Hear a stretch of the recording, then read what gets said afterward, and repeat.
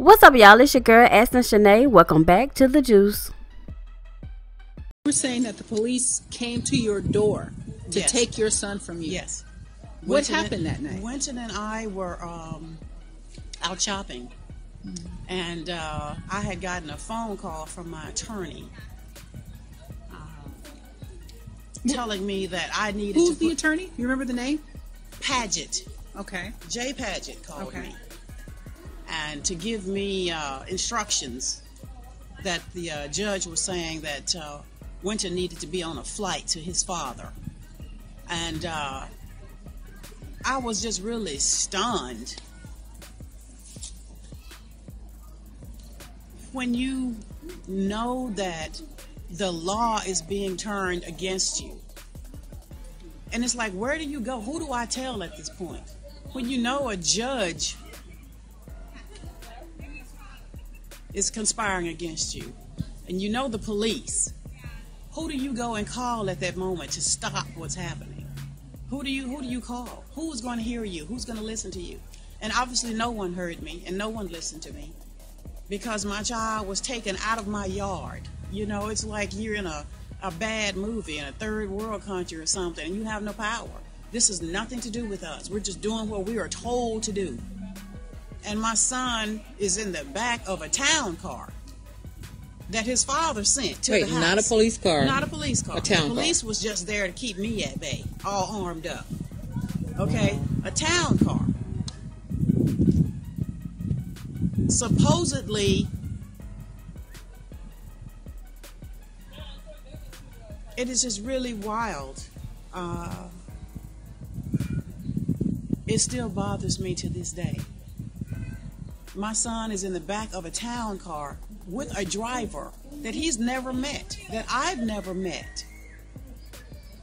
Upset, crying, calling for me. And I'm standing there with the policeman next to me, armed. Armed. And your child is looking at you, panic stricken.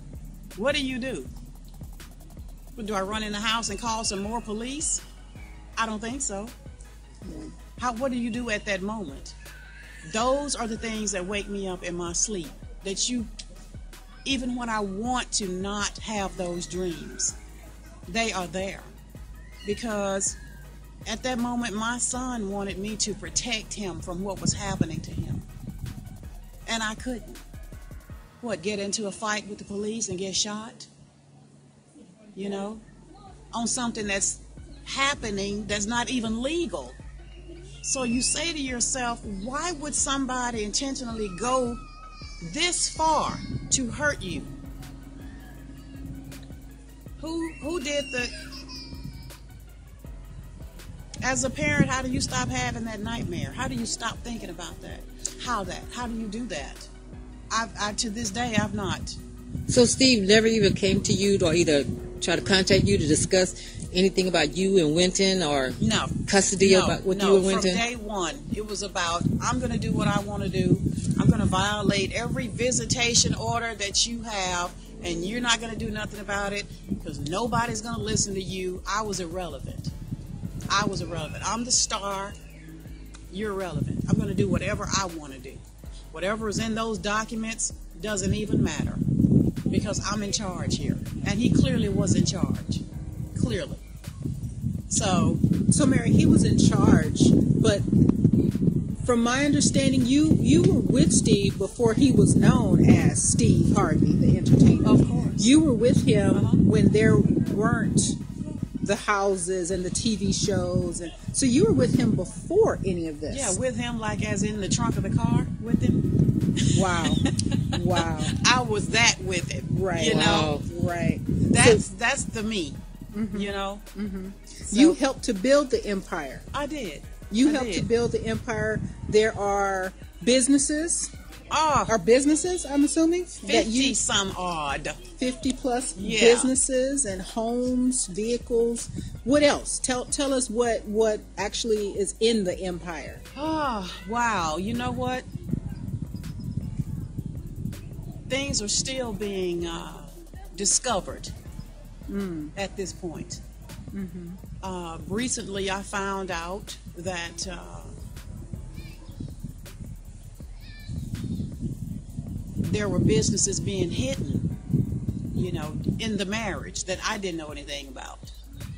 Um, but that's a long conversation. That's a that's a really long conversation. So at the at the divorce decree, those assets, what did you see was the breakdown and There the was never there was never a real breakdown. There never was. You didn't see any in the, the paper? judge the judge ordered uh, Steve to come forward with this is the totality of the two of you on paper. It never happened. He just refused to do it, and the judge let him get away with that. He just refused to do it. So when he went his separate way and you stayed or went, whatever the case may be, when you separated, what did he leave you with? What did you get at the at the end of that day? What did you At the end of the entire divorce, at the end of it, whenever it came about, which I don't know, because how do you you go in there in 2005 and here you are in 09 in 09 4 years later I'm being put out of a home that was given to me as my sole separate property. So to me So wait, when did the a- divorce stop? I don't even know when the divorce was official. A separate property, a sole separate awarded. property that awarded, you were awarded, yes. but you were taken out of yes that home. and it was taken back to court. What I know, what I know is what happened realistically. This is what happened. I got 10 payments. I got $40,000 10 times. 10 times. 10. The ranch property, our ranch that he calls his ranch, or wherever he goes to do the mentoring or whatever, mm-hmm. that was our property. Okay?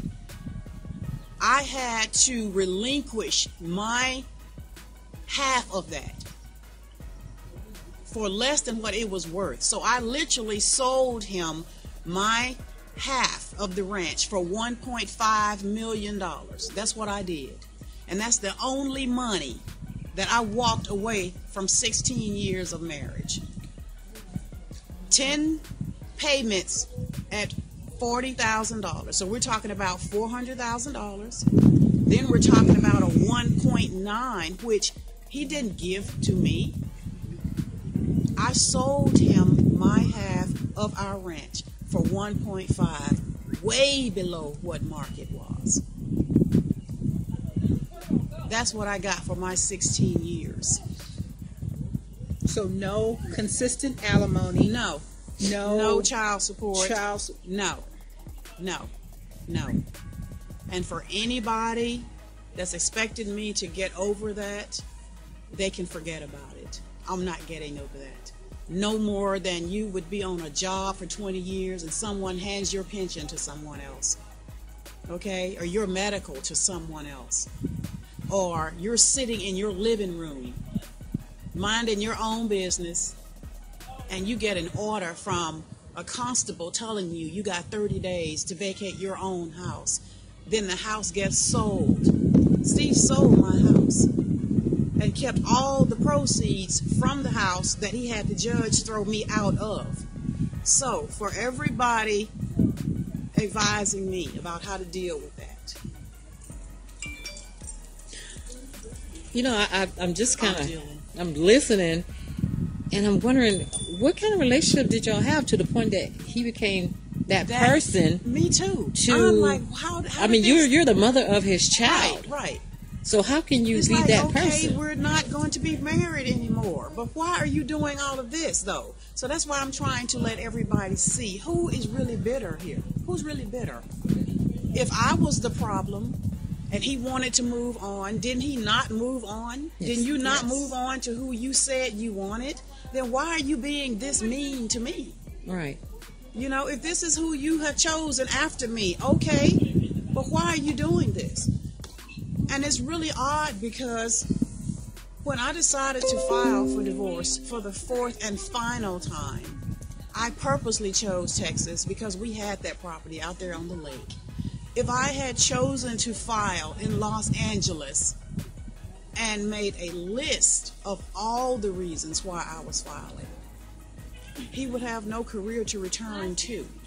Wow. So I'm not the bitter person here. And at this point, I still could say a number of things that I would never say because I do love my son. And I'm not in the destroy a person mindset. That's not what I do. So if I went to Texas to quietly dispose of everything, but then he chose that moment to say, oh, no eyes are upon us, so let me do this. So the question is, who's really bitter here? Who's really bitter? This is someone that he said he met some time ago and we reconnected. You're with this person and you should be happy with that person. So why are you coming after me? Why are you trying to destroy me after the fact? I'm out. That's what you wanted. That's what we wanted. So that that to me I, I never got. I never Right. understood that. Why am I locked out of my child's life? You know? Okay, I've also seen like you know you know how they have a lot of stuff on the internet. Mm-hmm. is this gag order? Oh, mercy. Um, I'm not real clear on what that is. You know, I think that after so much had been done undercover, so many laws had been broken, so many lies had been told, so much deceit and forgery and embezzlement and all this stuff had gone on. I think that at some point somebody got afraid that I'd talk about it, you know? to me, it's like in all fairness, if I feel that I have been completely fair, I would want the whole world to know that I was completely fair. Why put a lock on that? If you were fair, tell everybody you were fair. And don't just open the book, don't just open the book a little bit. Because one time, I think it was in 2011, where there's supposed to be this gag order about what happened, right? But then he goes to Texas and the judge lets him peek into it long enough to say she got 40,000 a month up until 09. No, that's not true. How about the payments didn't start until 09? So what was happening between 2005 and 2009? Nothing was happening. So it's like they opened the book to give a little peek in there to mislead everybody. I did not get money up until 09. Those payments didn't even start till 09. This was four years after the initial divorce. So I started getting alimony four years. So it's no alimony, nothing now. Nothing now. Nothing now. Nothing. I got 10 payments at $40,000 each, and then they just stopped. Because that's what he wanted. He didn't want that anymore. Or maybe she didn't want it. Maybe she said, oh, you Wait a know, minute, you but know? she's already set. So why this would is what I'm saying. Why get concerned about what's happening to me? So, once again, who's really bitter here? Who is bitter? Is it me or is it the two of them? And why are they bitter toward me? You know, did I disrupt Marjorie's marriage, either one of them? Did I come between any of her children? What is it exactly that I did to Marjorie or to Steve? for them to be so completely disrespectful to me and my relationship with my son. So if you have somebody constantly doing that to you all the time, at what point do I wake up in my morning and be okay? You know? What what point in my day do I say, "Oh, it's okay. I'm just going to shake that off and get over it." Who who who does who, who would do that? if I had all the success and all the whatever, and I'm with this other person in my life that I want to be with, I'm sure I would be way too busy to try to wreak havoc. And especially if you say you are a man of God, or you're a family man, and you're a Christian man, and you're a relationship man, all the things that should typically describe who you are, those things aren't manifesting themselves when the cameras are not rolling. So I, uh, just me being a mom, I respect the job because when God gives us children, He put them in our care and custody, and He expects us to do right by our children. That's what He expects us to do. I know that as a mother, if I was ever in a position to where uh, I had to be in charge of somebody else's child, I definitely make sure they have a great relationship with that child. But I just don't see how Marjorie, in particular, can call herself a mother to her own children and deliberately try to sabotage my relationship with my son. I don't really get that because personally, you know, even if it was a, a vengeance vendetta thing, it's like who did harm to who? You know, if you did harm to someone, if it had been me in her position, I think I would move heaven and earth to try to make it right by this woman and her son. Don't know? want to interrupt you, but are you a Marge friend or were y'all ever friends? You know what? That rumor was out there, but I, Marge and I were never friends. We were never ever friends. I don't know how it got out there that I was confiding in her about my marriage. I'd never, never met the woman until after the fact. You know, voice over the phone once, and I didn't even know who the voice belonged to at that time, but I never knew her. Never knew her. And even in all the years that uh, she's been stepmomming with my child, uh, we've never met face to face. You know, so to me, um, I don't believe in dysfunction. I was raised in dysfunction. I know what it is, I know the damage it can do, and I don't believe in that. And for the sake of my child, I have always, from day one, wanted to keep an open relationship so that Winton would not feel that he had to choose camps because that is so unfair and it is so unnecessary. And especially in this case, was it not necessary? And uh, I, I to me, I'm always a communicator. To me, everything. Let's talk about it. Let's put it on the table. And it's not about whether you like something or you don't like something. Let's talk about it. You know, that's just me. That's that's that's one of my pet peeves. I love communicating, but it would disturb me really uh, when family or friends would come to me and say, "Hey." I saw Winton on the show today, and that would really disturb me because I would see images of her embracing him and hugging him and calling him, "Oh, this is my baby." But how can you say that you love this young man and persecute his mother on Right. either side? How could either of them do that? For Steve to constantly say, "Oh, I love Winton," and on one show, um, and I don't ever watch. I can't ever watch. When my family say they've seen something, I usually wait for it to go to YouTube, and that way I can watch it in my own discretion. So that if I'm in a bad mood, I can just click and go back. But I never watch the show. But in one particular scene, he was talking to Winton, and I think it was after Winton had moved out of the house. Okay. And Winton uh, was on the show, and Steve had said to Winton at the end of this segment, I love you more than I love myself. And I said to myself, how can that be? If you love him more than you love yourself, why are, why have you sabotaged our relationship? You know, what's the problem? What is the problem here? How can you possibly love your son yet you persecute his mother? So those are things that people don't see or maybe people don't talk about. But that's the, my reality, you know. He's got the show and he's got the access to the public to where he can let them see what he wants them to see. And even like in the case, even in the case of Marjorie, it's like, oh, we love Winton. We're going to embrace Winton, Winton, Winton, Winton. And they take all these little stage photos and they have all these little stage shows, you know, but behind the scene, that's child abuse. And it comes in all kind of forms. You can be mentally and emotionally abusive. It's not always about putting your hands on a child that qualifies for child abuse. So imagine him having to have to live in that atmosphere of the pretense when he knows on the real side what's actually going on. And that's something that we live through. That's something we live through every day. And people don't get to see that. So, you know, a lot of times uh, people will make comments, you know, well, Mary needs to get over it and Mary needs to move on as if I've done the deed, you know. And it's not me. Right. I'm not the one being vicious.